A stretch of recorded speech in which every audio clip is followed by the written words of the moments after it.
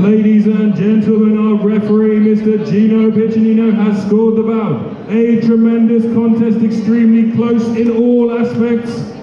The winner, Jimmy the Outcast